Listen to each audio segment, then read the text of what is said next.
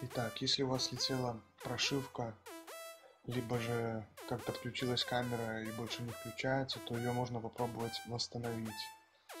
Вот, смотрите. После неудачной прошивки камера не включается, никак не реагирует. Итак, что мы делаем? В первую очередь вынимаем батарею выняли батарею и подключаем USB. Когда подключаем USB, зажимаем клавишу вверх.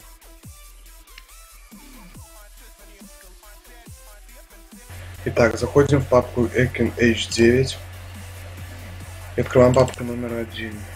Устанавливаем драйвера. Все равно установить этот драйвер. Финиш. Затем заходим в папку 2 Dowland и открываем файл FRM.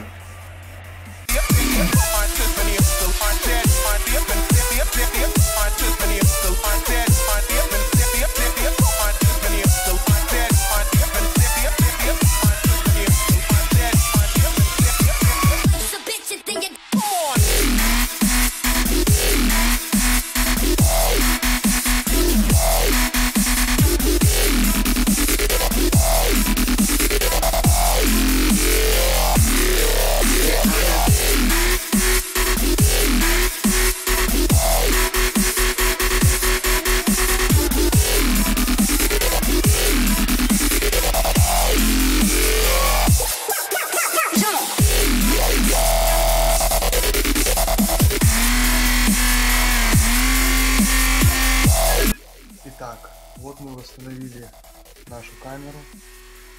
Сейчас будем пробовать включать ее. Вставляем батарейку и пробуем запускать.